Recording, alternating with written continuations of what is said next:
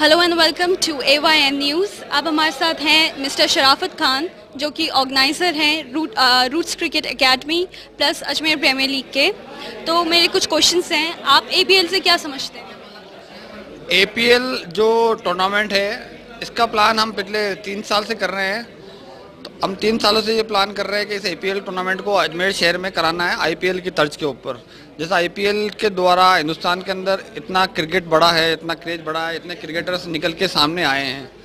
तो मैंने और हमारी टीम ने मिलके ये प्लान किया कि ऐसा टूर्नामेंट अजमेर में कराया जाए, जिससे हमारे अजमेर से भी कुछ प्लेयर निकल के बाहर आए हैं। क्योंकि क्या होता है कि किसी भी क्रिकेटर्स को बाहर आने के लिए एक प्लेटफॉर्म की आवश्यकता होती है। प्लेटफॉर्म की भी उसको एक ऐसा चाहिए जहाँ अच्छे ऑनर्स अच्छे भाषा जो अजमेर शहर के हैं, वो जुड़े तो ये सब चीज़ें एक एक तरह से एपीएल को फॉर्मेट बना के एपीएल के तर्ज के ऊपर हम लोगों ने प्लान किया कि जो शहर के जो बड़े बड़ी फर्म हैं, उनको इससे जोड़ा जाए, उसको इससे कनेक्ट किया जाए, ताकि वो जो प्लेयर जो ऑनर हैं, वो डायरेक्टली जो प्लेयर्स उनकी टीम में हैं और जो सपोर्ट कर रहे हैं, वो डायरेक्टली प्लेयर को सपोर्ट करें। अब इसी तरह से हमने अजमेर के जो एट ऑनर्स एट टीम्स बनाई बड़े बड़े ऑनर्स पकड़े अजमेर शहर के। उनके साथ मिलकर काम किया, उनसे डिस्कस किया कि ऐसा टूर्नामेंट करवाने जा रहे हैं हम। ऑलमोस्ट उन सब लोगों ने बहुत इंटरेस्ट लिया। उसी का नतीजा है कि आज हमने ए के ऑप्शन कंप्लीट कराए प्लेयर्स के। इतना लंबा प्रोसेस था, पहले हमने टीम को सेल किया। ऑनर्स ने अपनी अपनी टीम्स को लिया। अलग अलग जगहों से हमने टीमों को भेजा। मदार की जगह थी, एक पंचशील जगह थी, वैशाली नगर है, रामगंज है।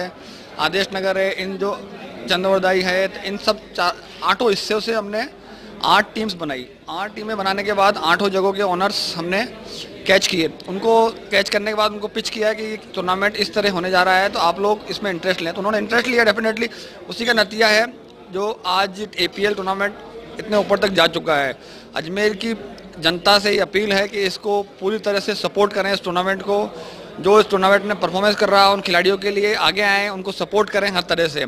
और उनका मैच देखने जो चंद्रवदा स्टेडियम में हैं, ज़्यादा से ज़्यादा संख्या में मैच देखने पहुँचे क्योंकि ये जो टूर्नामेंट होने जा रहा है, ये पूरा ए की तर्ज के ऊपर होने जा रहा है। इसके अंदर ऑनर्स ने अपने अपने खिलाड़ियों को अलग अलग बेस प्राइस में आज परचेज़ किया है। साढ़े चार हज़ार रुपये लास्ट बेस प्राइस था। इसमें काफ़ी खिलाड़ियों को साढ़े चार हज़ार रुपये मिले हैं बहुत अच्छी बात है। यहाँ बजट कम था, हम चाह रहे हैं कि ये साढ़े चार हज़ार रुपये आगे जाके उनको आईपीएल में या इंडिया में बहुत अच्छा पैसा मिले।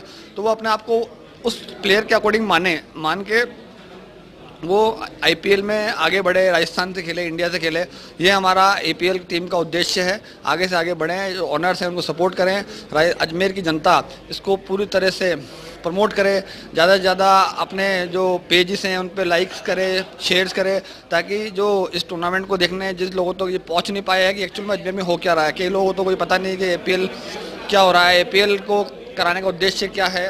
तो वो इस चीज़ों को समझ पाए कि ए किस लिए हो रहा है। अजमेर प्रीमियर लीग का क्या उद्देश्य है कि इसमें क्रिकेटर्स को अजमेर ज़िले से भी हम चाहते हैं कि कोई क्रिकेटर इंडिया के लिए खेले, कोई क्रिकेटर राजस्थान के लिए खेले, कोई क्रिकेटर आईपीएल में खेले। तो हम चाहते हैं कि यहाँ से जो प्लेयर्स निकले इस ए टूर्नामेंट से, वो इंडिया के लिए या आईपीएल के लिए खेले। यही हमारा उद्देश्य है और अभी हम इसके ऊपर और हार्ड वर्क कर रहे हैं। धीरे धीरे कि हम कैसे उस प्लेयर को और आगे बढ़ा सकते हैं। राजस्थान से इंडिया से हम बड़े बड़े लोगों से अप्रोच कर रहे हैं, जो क्रिकेटर्स हैं, उनको बुलाने की कोशिश कर रहे हैं। इसमें आए टूर्नामेंट को देखें, वो प्लेयर्स को देखें और उन प्लेयर्स पर नज़र जाएँ उनकी कि एक्चुअल में ऐसा प्लेयर भी है। क्या होता है प्लेटफॉर्म नहीं मिलता टूर्नामेंट नहीं मिलता तो प्लेयर नज़र में नहीं आ पाते उन प्लेयर पर नज़र जाए और उस प्लेयर के द्वारा वो प्लेयर आगे निकले। अजमेर में काफ़ी टैलेंटेड प्लेयर्स हैं जो किसी वजह से या फाइनेंशियल प्रॉब्लम से या पॉलिटिकली प्रॉब्लम से आगे नहीं खेल पाते।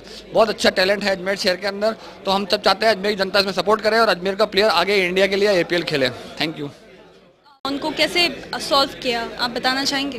प्रॉब्लम्स जो थी हमको सबसे बड़ी प्रॉब्लम थी फाइनेंशियल प्रॉब्लम जो थी जो यहाँ पे आ रही थी, हमको ये था नहीं ऐसा उम्मीद तो ये थोड़ा सा डर था कि टीमें लोग परचेस कर पाएँगे, नहीं कर पाएँगे, टीमों को ले पाएँगे, नहीं ले पाएँगे, लेकिन उसके अलावा हमने एक प्लान तैयार किया कि जो ऑनर्स हैं, उनको किस तरह से तैयार करना है, उनको किस तरह से अप्रोच करना है, उनका इसके अंदर इसको लेके, उनका किस तरह से फ़ायदा है इस टूर्नामेंट को लेके, किस तरह से वो अपने आप को ऑनरशिप में, अपनी टीम को मान के आगे बढ़ेंगे। जैसा कि आज जो आईपीएल में होता है मुंबई इंडियंस मुंबई इंडियंस की जो टीम है अम्बानी ने ले रखी है। उसी तरह वो आज कितना बड़ा ब्रांड है। तो उसी तर, उसी अप्रोच के थ्रू हमने जो ऑनर्स हैं उनको पिच किया। तो शुरू में तो थोड़ी दिक्कतें आई लगा कि चार पाँच टीमें बिकेंगी। ऐसा लगा कि शायद टूर्नामेंट हो पाएगा, नहीं हो पाएगा। फिर भी हमने हार नहीं मानी। मैंने, हमारी टीम ने, पुनीत मेहता ने जय रंगनानी ने, प्रद्युमन सिंह ने, इन सब लोगों ने हार नहीं मानी। लगातार लगे रहे। हमने ये देखा ज़्यादा से ज़्यादा क्या होगा। इस टूर्नामेंट तो करवाना है, लेकिन हिम्मत नहीं हारनी। रेगुलरली लगे रहे। दिन रात काम करा टीम ने। ज़्यादा से ज़्यादा लोगों से मिले। ज़्यादा से ज़्यादा लोगों के रिव्यूज़ लिए। ज़्यादा से ज़्यादा जो क्रिकेटर्स हैं, उनके रिव्यूज़ लिए। टेक्निकल जो लोग हैं अतुल भैया, नीरज भैया, इन लोगों के रिव्यूज़ लिए जो ऑनर्स हैं, उनको बताया इस चीज़ के बारे में कि एक्चुअल में जो हम कराने जा रहे हैं, उसका एम क्या है, उद्देश्य क्या है। लेकिन अल्टीमेटली लास्ट के अंदर आके इस चीज़ के अंदर हमको सक्सेस मिला, वो लोग समझ पाए कि एक्चुअल हम क्या करना जा रहे हैं। अब हमको ऑनर्स को ऑनर्स खुद अपने आप को इतना प्रमोट कर रहे हैं, अपने आप में अच्छा फील कर रहे हैं और अपने आप को ऑनर वाली फीलिंग आ रही है उनके अंदर कि यार आज ये टीम मेरी है। जैसे आईपीएल में आती है, जैसे कोलकाता नाइट राइडर शाहरुख खान की टीम है मुंबई इंडियंस अंबानी की टीम है तो वो वैसी वाली फीलिंग हम इन ऑनर्स में लाना चाह रहे हैं तो वो अपने आप को वो माने कि यार ये टीम मेरी है। उसी तरह से वो खिलाड़ियों को प्रमोट करें। काफ़ी तरह की प्रॉब्लम्स आई, लेकिन उसके अलावा हम लगातार लगे रहे और आज ये नतीजा है उसका कि आज हमने जो जितने भी 16 प्लेयर्स हैं, वो ऑक्शन में सिल कर दिए हैं और टूर्नामेंट अब लगभग लगभग लास्ट स्टेज के ऊपर है, वो स्टार्ट होने जा रहा है।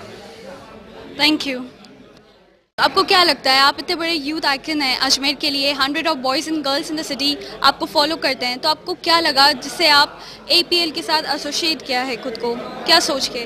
आपकी व्यूज़ क्या देखिए जब आ, मेरे पास शराफत जी आए थे और पुनीत भैया आए थे ये दोनों आए थे तो इन दोनों ने मुझे कहा था कि भैया देख लीजिए आपको अच्छा लगेगा एक बार आप एक बार जोड़कर देखिए हमारे से। तो एक सेकंड के लिए मेरे दिमाग में ये थॉट आया कि यार क्यों ना हमको ये स्टेप लेना चाहिए? एज अ ओनर क्यों ना मैं इसमें घुसूं? और इससे कितने युवा अप्रिशिएट होंगे, इससे कितने युवा जुड़ेंगे? मैं मतलब मेरे नीचे मैं मैं कितने सारे बच्चों को खिला सक रहा हूँ। And I am I am feeling happy मैं उस उस उस पर बहुत खुश हो रहा हूँ कि मैं, मेरे साथ इतने सारे यंग बच्चे जुड़ रहे हैं, इतना यूथ जुड़ रहा है, जो जो मेरे नीचे खेल रहा है, जो, जिनको मैं सपोर्ट कर रहा हूँ। और यही सब सोच के कि हमारे अजमेर का नाम ऊपर बढ़े और हमारी जो टीम है एपीएल जो हम जिसने ये ऑर्गेनाइज करा जो ये ऑर्गेनाइज करा रहे हैं उन्होंने इतना अच्छा इनिशिएटिव लिया इतना बढ़िया इनिशिएटिव लिया जिस कोई बात मतलब जिसको हम नहीं कर पाते हम सोच भी नहीं सकते थे।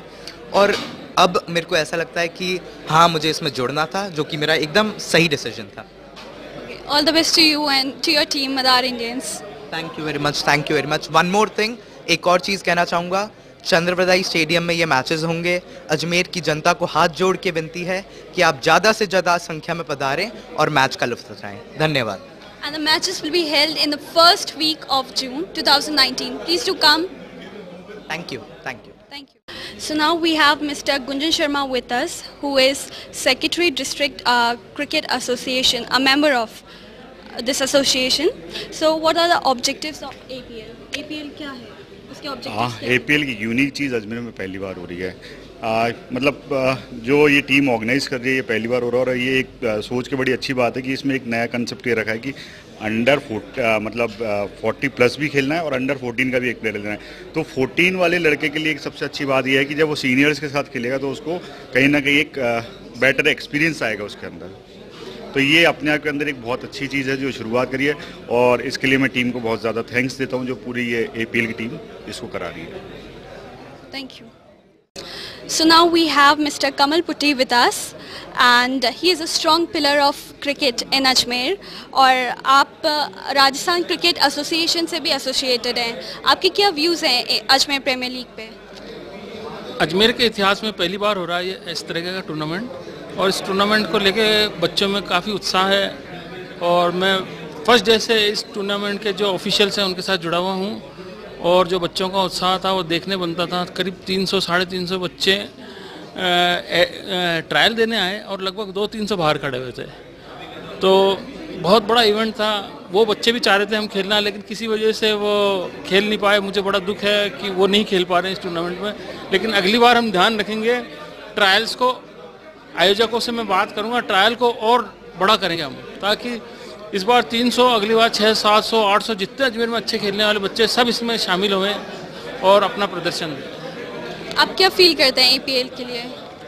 अजमेर अजमेर के इतिहास में पहली दफ़े हो रहा है और बहुत अच्छी तरह से ऑर्गेनाइज हो रहा है और मुझे लगता है कि 100 परसेंट सक्सेस होगा और लड़कों को एक नया प्लेटफॉर्म मिल रहा है। जिस तरह आईपीएल को खेल के हिंदुस्तान में ऐसी ऐसी प्रतिभाएँ सामने आ गई जो अब इंडिया खेल रही है, लड़के। जो स्कूली बॉयज़ थे, वो जाके टेस्ट मैच और वनडे और टी ट्वेंटी खेलने लगे। तो मुझे लगता है कि अजमेर में भी अब ये जो माहौल ए के द्वारा बना है, इसको देख के काफ़ी नई प्रतिभाएँ सामने आएँगी। Thank you